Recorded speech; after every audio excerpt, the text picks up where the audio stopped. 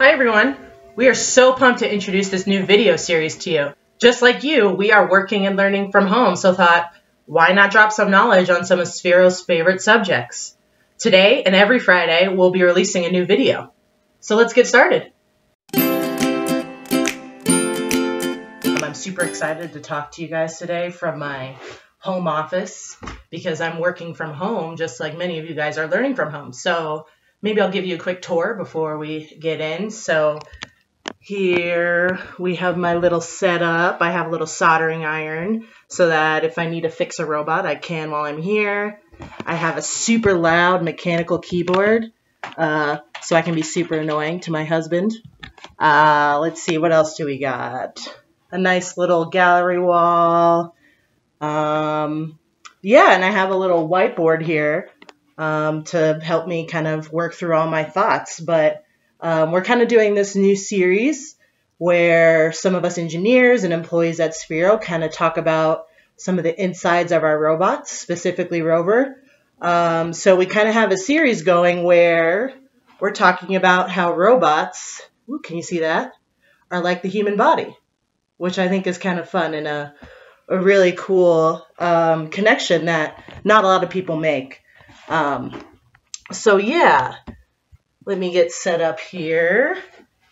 Uh, so we'll be doing these web series every Friday. Uh, we'll be talking about different parts of specifically RVR here, which is our newest educational robot. It's a tank style treaded robot that you know you can code just like you can Bolt or Mini, uh, but you can also take it outdoors. Uh, you can do, it has a bunch of different sensors on it, which we'll kind of go through in this whole project and talk about how these sensors are similar to things in this in the human body.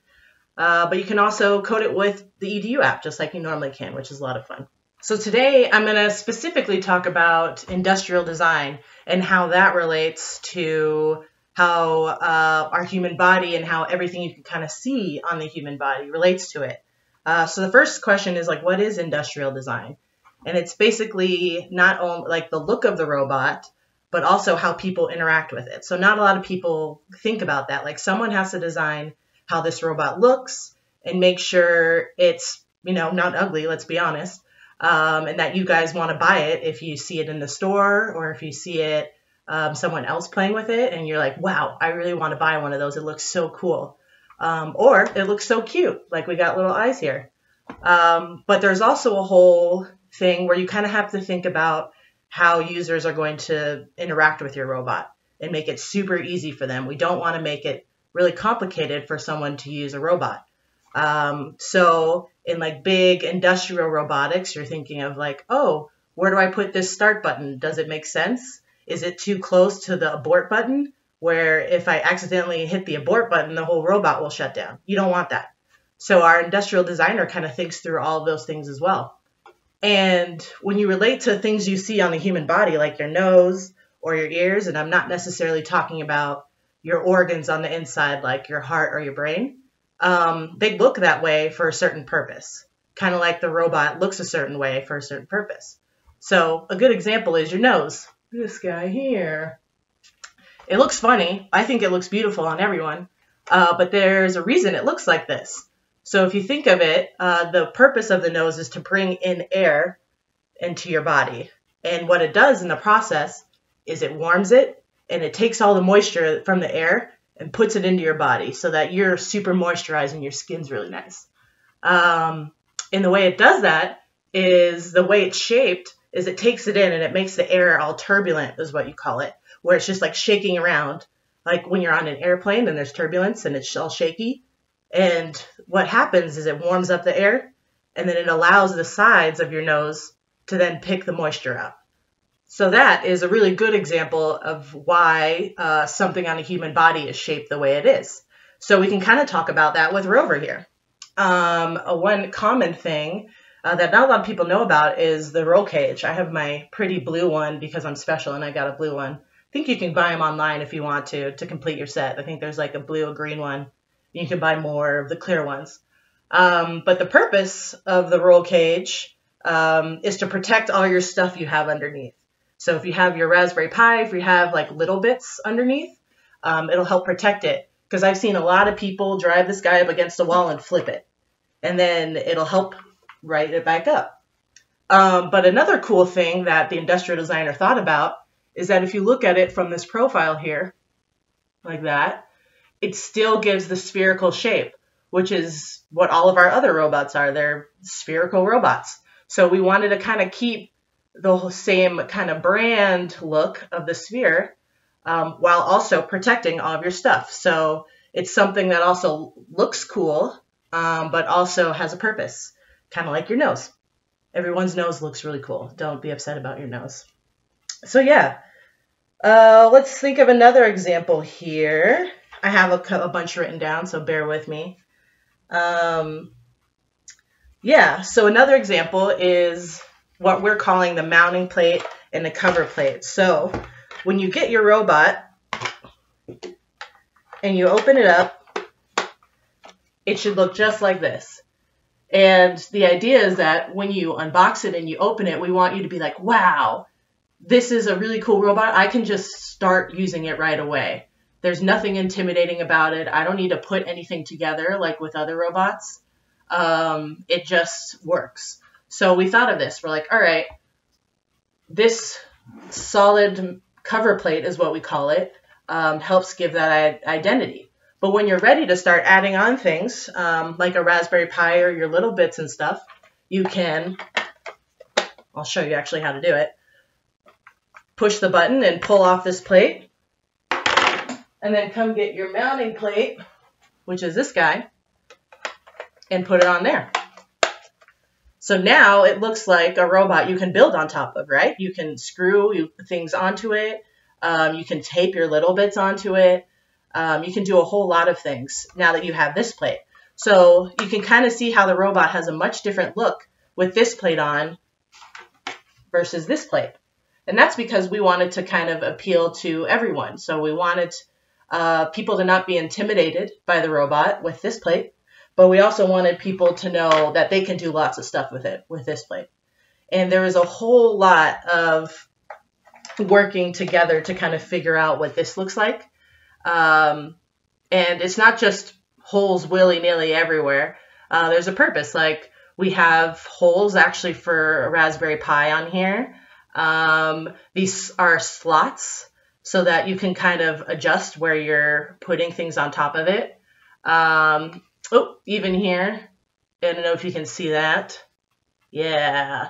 Um, if you decide you want to connect to the expansion port, this tells you what um, each pin does um, so that it's not confusing. And then you hopefully don't plug it in backwards and do something harmful to your micro:bit or your Raspberry Pi or your Arduino.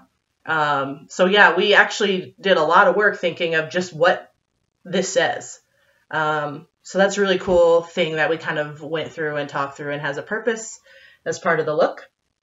Um, we also worked through the snap mechanism quite a bit. We didn't want to make it too hard for kids to remove and put on, so we made a little button for it. And it should be able to hold all your stuff when you decide to drive it straight into a wall, which I've seen a lot of people do. Not that I'm upset, but you know, that's what it, that's why we made it the way we did. Um, another fun ID thing that not a lot of people know about is you can see um, here's where the LEDs light up. Um, and there's some on the front, and then there's a big one on the back. And I'm just wondering if anybody knows, like, this shape looks super familiar. I wonder if it's ringing any bells there, but the way it was designed was kind of an ode to our EDU app and how you code. And um, the pill shape looks a lot like, whoop, some of these blocks here um, for like your sensors or inputs or anything like that. And that was super purposeful. We, you know, wanted to um, show that this is uh, compatible with the EDU app, and it exactly is because we have look there's show those shapes there match the shape of your LEDs.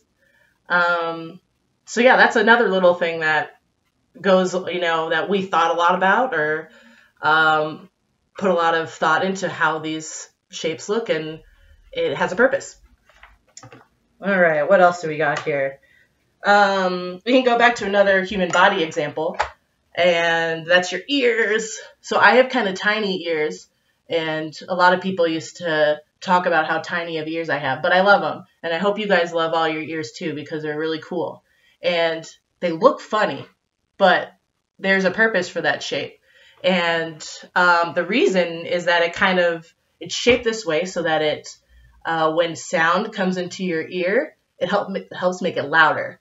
Um, so that one, we understand what people are saying, and we also know what direction the sound is coming from.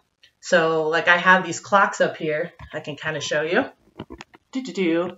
It tells me what time it is in Hong Kong at any time. That's where we build all of our stuff. Um, and so I know what direction the sound is coming from because of the shape of my ears.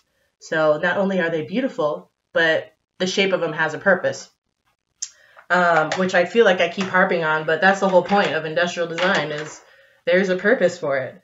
Um, ooh, another fun one is the little treads here. Um, not little treads. These treads are awesome. They help you be able to take it outdoors, um, drive it up steep inclines, stuff like that. And the dots on them are actually similar to an older robot we have um, called Ollie. And if you've seen the tires on Ollie, they have these dots. So we're keeping with the same kind of brand feel um, and just making all the robots similar. Um, but there's also a purpose. And what they're there for is to help increase friction. And so what that means is it helps grip things better so that you can actually go climb up really steep inclines, less than 30 degrees, um, or go outside and take it in the grass. And it helps get that grip so that you can do that. But it also is really cool looking and um, it's better than having spikes on there, uh, which is probably very dangerous for kids, but that's okay. So yeah, um, that's kind of all I got for today. I hope I kind of helped you understand um, the industrial design behind RVR and how we kind of thought through how we can make it super cool looking, but also and but also be look like other sphere robots, even though it's so different. Um, but also everything has a purpose and making sure that the purpose is met. Um, so yeah, as I was saying, we're kind of gonna do these um, every Friday. Um, next week I'm up again, so if you don't like me, sorry. Um, if you like me, then hey, welcome back. Um, and I'll be talking about more of the mechanical stuff, like how the motors and the gear train relate to the muscles in your body, um, like my huge muscles I have here. And yeah, so I hope you enjoyed this. If you have any ideas about how robots are similar to the human body, um, hit us up on social media. We're on Twitter, we're on Instagram, we're on Facebook. We'd love to hear your ideas and uh, kind of build off that. Um, we're not on TikTok yet, so sorry, kids.